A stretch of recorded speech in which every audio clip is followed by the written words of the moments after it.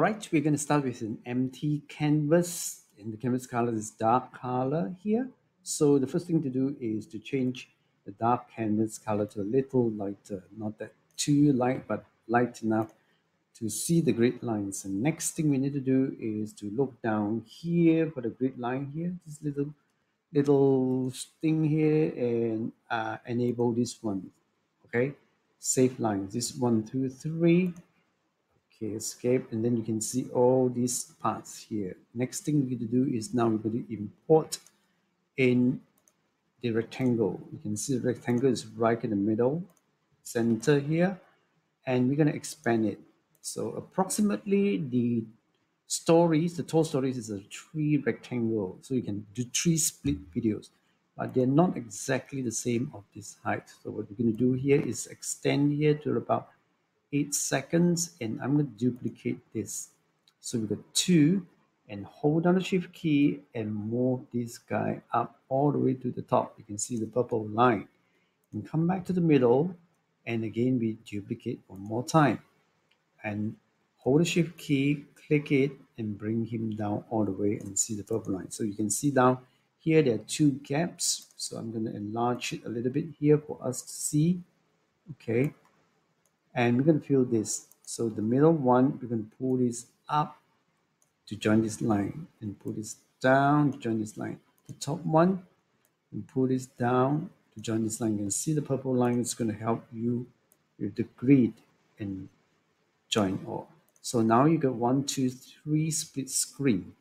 Now to be able to see the difference here, I am going to change this color to a little bit different. And the top one maybe another different shade so that we can identify them along the way. So at least now got three. Press F key and send it back. You got one, two, and three. Let's label it properly. This is F1. Okay, split one, let's call it split one. One. And this is actually three, the bottom one. All right. And the last one here, the middle one is two. Name it a two. So make it easy. We put the three down here, and you got one, two, and three. So you got three boxes here. Uh, three holders. What you do is you uh, group it, okay, so that in case you mess up, you have a secondary copy. What I do here is duplicate and I keep this aside, all right? That's how I do it. And now I come back to this first one and ungroup it. So I have back all the three, one, two, three. So go back to the media. I've already downloaded a video. So download the video that you need to use for the split screen. For best result, choose videos that is a lot of actions okay so click on the video click on this one so that you know that this video is approximately about this size so what I normally do is increase the size a little bit just a tidbit so that the frame can actually cover the whole thing okay now this video is a little bit longer so I'm going to split this video to make it easy for work. Okay, so let's delete this off and we have this video here. What I'm going to do here is uh, for this video, we need three copies or if you've got three different videos, up to you. I'm going to duplicate, I'm the second copy. So second copy, hold shift key, again move this guy up, right? And go back to the middle one and duplicate and hold this one down and move it down. So now you've got three videos, right? It can be different videos, it can be the same videos, okay? So what we're going to do is label it properly. First one, this one is video number one. Rename it one. And this middle one is two, right?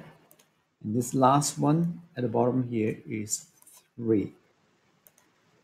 Okay, so you can see that we have got one, two, three. So what we do here is we are going to mask the video into the frame. So you have got, okay, click one, hold the shift key, click one, right click and mask one with one. So you got two, click 2, hold the shift key, click 2, 2 with 2, and 3, hold the shift key, click 3 and 3, and right click, mask 3 and 3. So now you got 1, 2, 3, okay?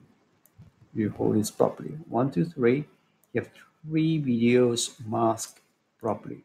And now you have the first version of your split screen. Okay, you can do something more to this or just keep it this way, up to you, use your creativity. So what I do sometimes is I change this, uh, some of these into maybe um, different tones. Okay, you can come down here to maybe effects. Okay, like choose a filter and put on the first one, drop it. You see the filters here. Uh, maybe the first one is sepia, and then come back here and oops, hold this guy up and put a second one, and maybe this one is a Kodachrome, and then come back here and put this filter down here and change this into a Technicolor. So now at least with three, let's have a look and see how it goes. See, this is another creative way for you to do this. All right.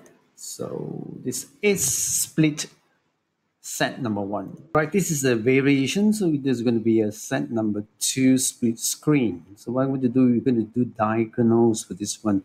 So we're going to bring in a rectangle. We have got a rectangle here and we're going to expand the rectangle and go to properties here and change the rotation to minus 45 degrees, right? So what we're going to do here is have a look here. I'm going to expand this rectangle all the way up. You can see that it joins up to the little corner here and then this one up to this corner. Okay. So what we need to do here is um, to duplicate this rectangle and form the second one, okay? So let's say maybe another eight seconds, um, duplicate. So I've got two. Hold the shift key and bring this guy up. Ooh, it's difficult actually. Don't hold the hold the shift key, but just bring it up and match it back parallel to it, okay? So click here to make sure that it covers this as well, right? So this same one, duplicate it. Okay, so now you one, two, and three. So you've got top one, bottom one, and this bottom one here. And join it back nicely. All right. So what we're going to do here is to make sure that this one is also covering here. So now you've got one, two, and three. We need to again um, label it properly. So this is the top one. Okay, rename it number one. And this is the bottom one. We rename it number three. Okay, so obviously this one is number two. Okay, so we have got one, two, and three. Okay, we've got three holders here and three frames. Now this one is a little bit different. Um, let's bring in the um, video. Okay, bring in the video, and again, this video is a little bit too long, or maybe I'm going to cut the video a bit different. Okay, maybe at a less angle here, different segment. Right. Here I'm going to cut it and delete this off so that I've got these three pieces here. First one, okay. The first video here, you click on this one for the expansion just so that we can see that this first video will only fit for this one. Now we need this first video to fit the top one.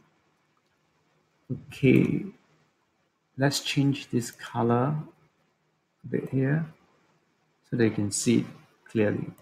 Okay? So we need this first one to fit this triangle so what we need to do here is to make sure that this covers this as well. See here?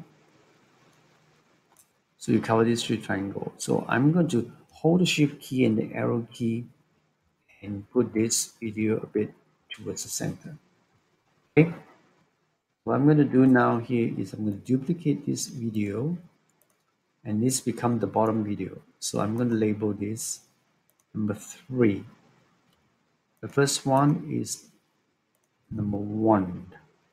So come back to number three and we are going to bring this number three down. Hold the shift key and bring this video down to this one and make sure that we cover these other one as well. Okay.